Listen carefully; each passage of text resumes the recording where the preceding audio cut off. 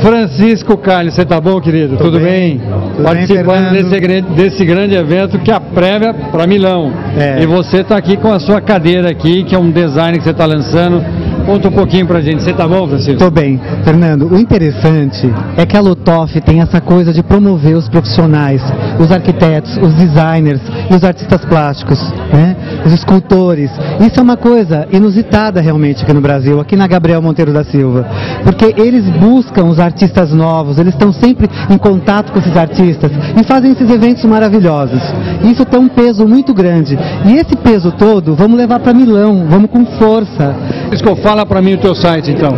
É www.calio.com.br. Vamos em frente, parabéns. Obrigado. E a gente se encontra lá em Milão. Isso, com